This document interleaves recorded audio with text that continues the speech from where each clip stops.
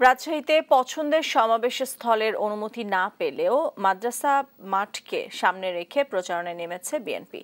দেশের সবচেয়ে বড় জামায়াতের আশা দলটির। তবে মামলা নিয়ে বেশ কিছুদিন ধরে বেকায়দায় তৃণমূলের নেতারা।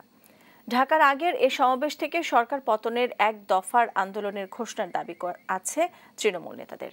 তবে এখনই এমন ঘোষণার পক্ষে নন বিএনপির কেন্দ্রীয় একাধিক নেতা। রাজশাহী থেকে কাজী সাহেদের প্রতিবেদন। তিন ডিসেম্বর রাজশাহীতে বিএনপির বিভাগীয় গণসমাবেশ। জমায়েতে দেশের সব বিভাগকে ছাড়িয়ে যাওয়ার প্রত্যাশা স্থানীয় নেতাদের। মাঠের অনুমতি মেলেনি, এরই মধ্যে থানায় থানায় মামলা নেতাকর্মীদের নামে।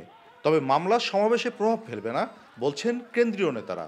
প্রশাসনকে ব্যবহার করে তারা এই সমস্ত জায়গায় আমাদের নেতাকর্মীদের নামে এবং যারা যারা লিডিং পার্সন আছেন, তাদের নামে মামলা করে তাদেরকে হয়রানি করা হচ্ছে এবং তারা অধিকাংশই তাদের বাড়ি থাকতে পারছে না।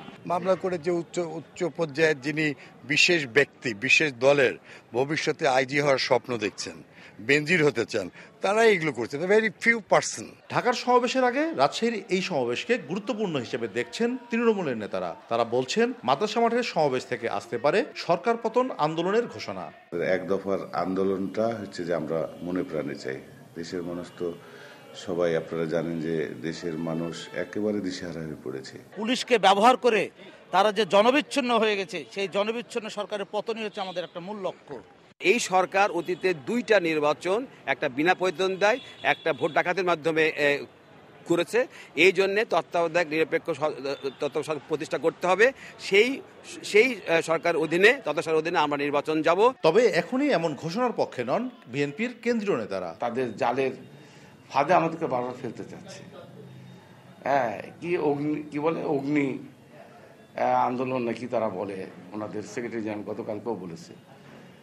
তো আমরা তাদের জালে পা দিতে চাই না। আমরা চাই শান্তিপূর্ণভাবে, গণতান্ত্রিকভাবে এবং জনতাকে সঙ্গে নিয়ে, জনতাকে সঙ্গে নিয়ে বর্তমান সরকার যারা ক্ষমতা আছে, আমরা রক্তপাতবিহীন বর্তমান সরকারের পতন চাই। পুলিশের আনুষ্ঠানিক অনুমতি না পেলেও মাদ্রাসা মাঠেই সমাবেশের ঘোষণা আছে বিএনপির। আইনশৃঙ্খলা বাহিনীর সদস্যরাও ওই মাঠে বাড়িয়েছেন নিরাপত্তা। কাজী শাহেদ দেশ টিভি, রাজশাহী।